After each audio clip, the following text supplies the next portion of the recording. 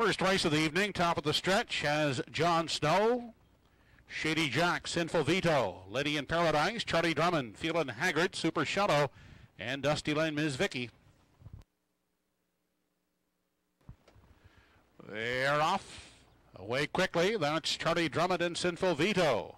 As they race into the first turn, those two out to do early battle for the lead as they race into that first turn. That's Lady in Paradise taking a tuck in uh, three, crossing over in four. That is feeling haggard to find room. Outside and caught on the limb from five is Super Shadow. Unhurried back there in six. As they race on through the backstretch is Shady Jack, followed by John Snow and the early trailer, Dusty Lane Ms. Vicky. They arrive at the opening panel, and Sinful Veto is the leader. Will dictate the early turns, leads by a length and a quarter. Sitting tight up in the pocket as they race on to the three eighths. That is Charlie Drummond. That out the rail is Lady in Paradise. Looking at it from a three, feeling haggard is the fourth one with a peak to the outside as they round the top two. And 29 and 2 was the quarter. They travel into the stretch now as they approach the halfway point. Sinful Veto is still the leader.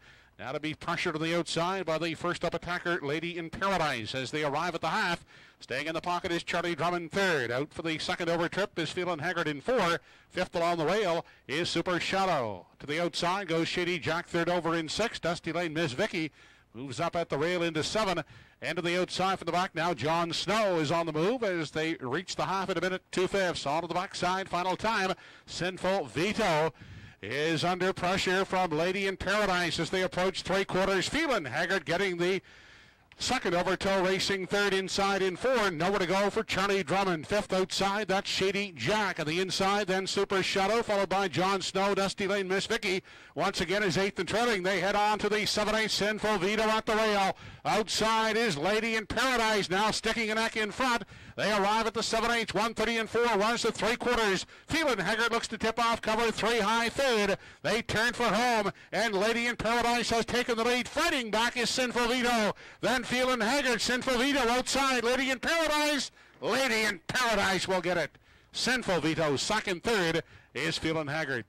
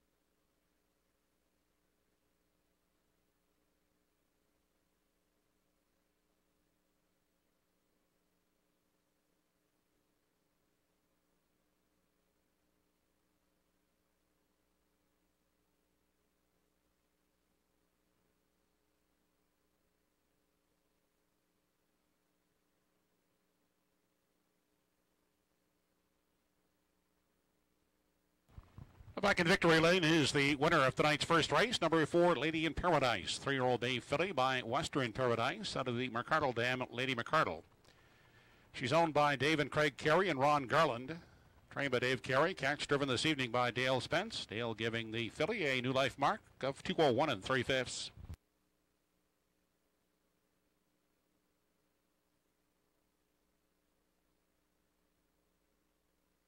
Replay brought to you by Wilson's, your leading fuel supplier in Atlantic Canada. Visit them online at wilsons.ca.